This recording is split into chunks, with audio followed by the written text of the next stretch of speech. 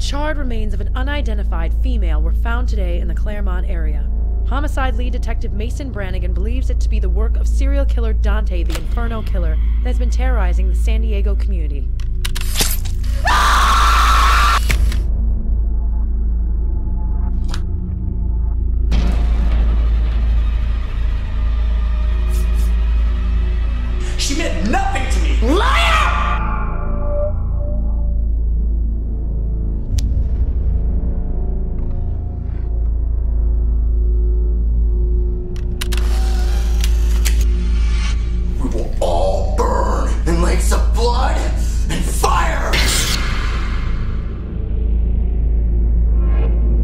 Some important information.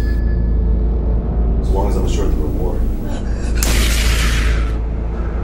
Joining me is Herbert Delgado, bank manager and a key witness for the prosecution.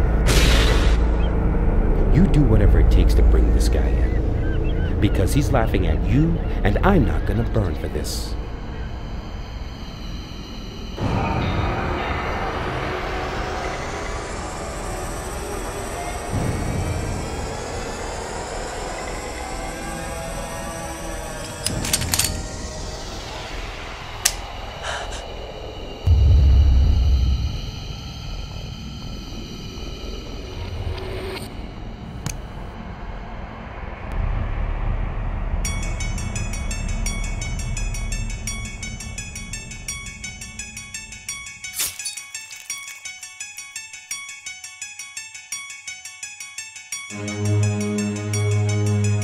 But in the bigger picture, you have to be willing to take what you want and seize every opportunity, no matter how bloody your hands become.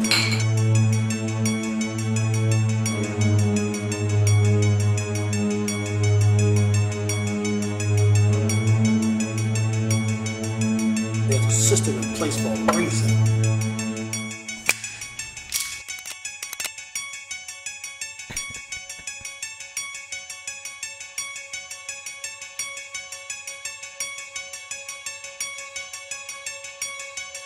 Another mutilated body has been discovered, bringing the count to eight in the Inferno killings, where victims are murdered in a ritualistic fashion according to the punishments within the nine levels of hell.